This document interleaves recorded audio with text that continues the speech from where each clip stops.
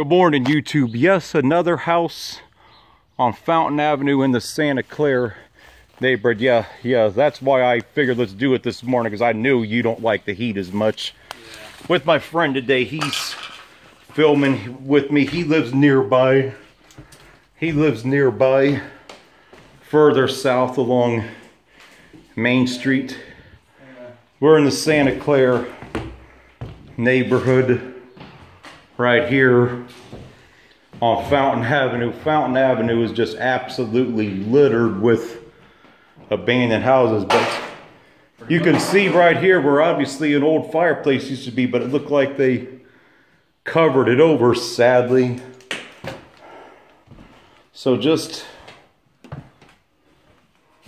more of the decay. Nice wood steps. This, this right here, somewhat, I don't know if it could be saved or not, but the biggest issue is the condition of the neighborhood is the biggest hindrance to ever doing anything with this right here. hey, now this right here is a real smart idea for a door. Right onto a roof. I mean, that's not too bad. I mean, there might have been a balcony or something. Yeah, balcony or something, yeah. But... Besides, some people just like to stick it on the roof of the 40, you know? yeah, or they could have had a little deck up there at one point in time. Right. You know, this is always a shame when people paint over what was beautiful woodwork. I mean, strip the doors back to like this right here, YouTube. Yep. And these old houses, this is much more beautiful than painting over this beautiful woodwork. You don't see this beautiful woodwork inside the homes that have been built the last probably 30 or 40 years nope. in this country. It's all junk. It's all junk crap. And it's a the exact same design. Same design, cookie cutter. Everything. I mean, it's a shame when these houses are abandoned because these houses were built to last. I mean, if you could get a house like this in a good neighborhood and fix it up, it's worth a good amount of money. Like, like you know, I could, if like if these houses were in New York or Boston, they would have never been abandoned, and they, you could have touched these for under two or three million dollars. But not in Dayton, Ohio, or cities like Toledo or Cleveland. We're going to take a look at the front of the house. Youngstown, too. Yeah, Youngstown. Yeah, we're going to take a look at the front of it, show the address, then we're to wrap this one up. So, another sign of the decay from this neighborhood right here. It's really sad.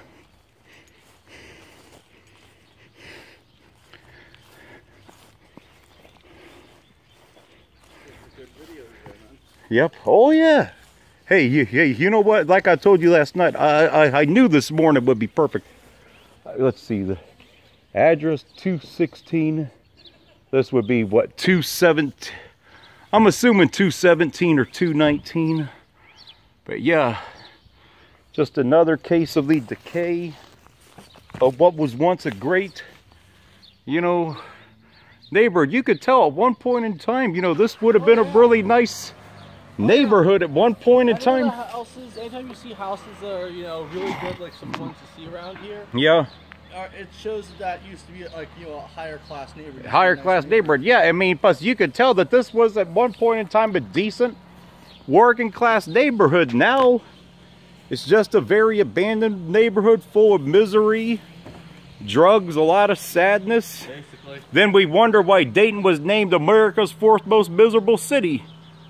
Right here, you could tell YouTube. Right, you could tell joblessness. Heroin and Democrats.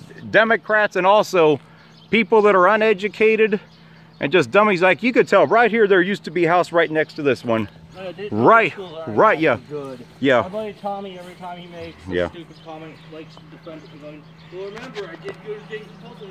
Yeah, and you see right over here, so you could tell right on this house, there used to be houses on both sides of it. So by the time they get this finally tore down, there's going to be three empty lots right in a row. Mm -hmm. Three empty lots right in a row. Well, maybe they could turn it into a small community park.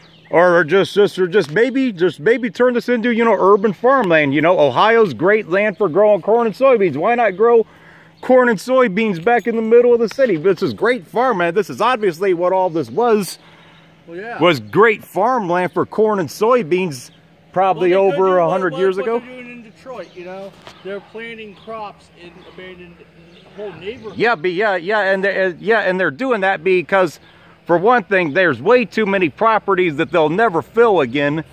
Because uh, i mean although dayton is not near as abandoned as detroit because detroit it's been estimated 25 percent of the houses there are abandoned. Dayton's not quite at that point yet but detroit's got at least a third of their city and i think detroit's around 100 uh, and i think what 25%. yeah. And then Detroit, at least their city's around 150 square miles, and at least 40 of that is abandoned. So that's a uh, so that's a big vacuum to fill, and that number's still falling. So why not do urban farmland on lots like this? Exactly. Yep. It'll help with the situation how everybody keeps calling Dayton a food desert. Food desert, know? yeah, because we hardly like on this side of town. The only Heck, they thing, could- the could- only thing. tear down this and then just build a grocery store Yeah. here. a grocery store, and then you know, then the only grocery I mean, store. zoned for Yeah, that, but and the only decent grocery store north or west of here is that Kroger's on Siebenthaler. Outside of that, there is no other. there. Yeah, but that's small. They don't offer enough. They have they have what you need. But as far as major grocery retailers, Dayton is completely devoid of it in most neighborhoods. But anyway, YouTube, that's it for the.